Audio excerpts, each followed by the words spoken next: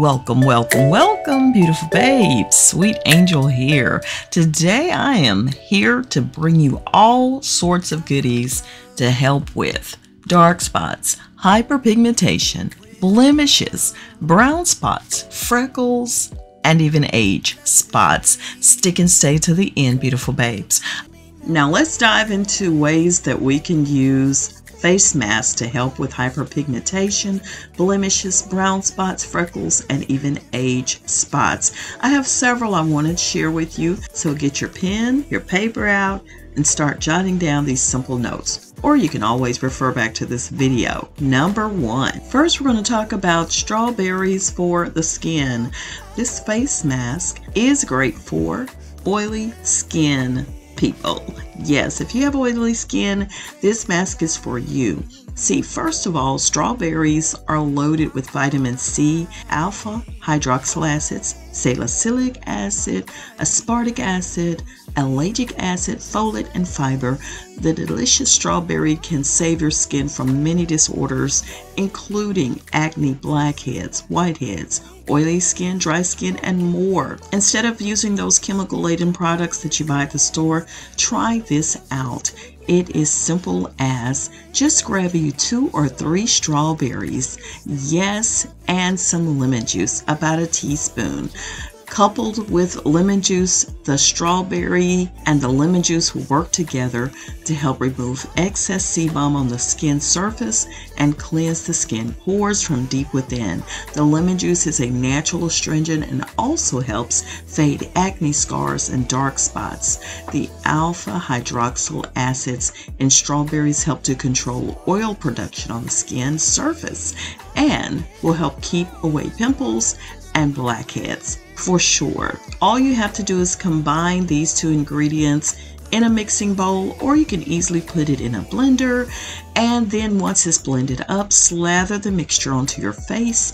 Let it sit for about 15 minutes and when the time is up just gently rinse off with water and pat dry with your washcloth. Rinse again with cold water to help to close up the pores. Try this twice a week and you'll see a difference. Now the second one I want to talk about is this one here. This next one is also easy. You'll be taking two teaspoons of turmeric powder, also one and a half tablespoons of plain yogurt, a half teaspoon of honey, and mix those in a bowl. You'll use this one to two times a week.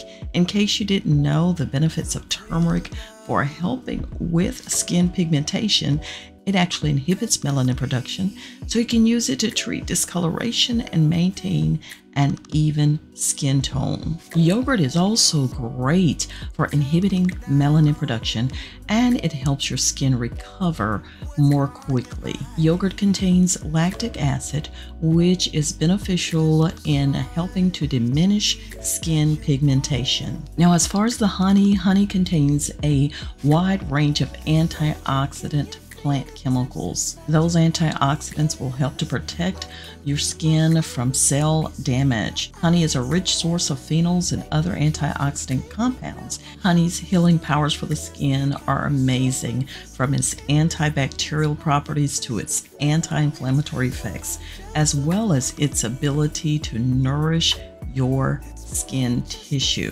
Mix these amazing ingredients together and use this one to two times per week. And after you complete this mask, go ahead and slather on some sweet almond oil. Sweet almond oil, thanks to its vitamin E, very high vitamin E content, will help to keep your skin cells healthy, protect your skin from UV radiation damage, and helps your skin to look smooth, soft, and free of fine lines. The fatty acids help your skin retain moisture and can heal chapped and irritated skin. Plus, the vitamin A can help reduce acne, and this comprises this face mask as well as after treatment after using the face mask to help with hyperpigmentation, dark spots, scars, and even wrinkles. Amazing.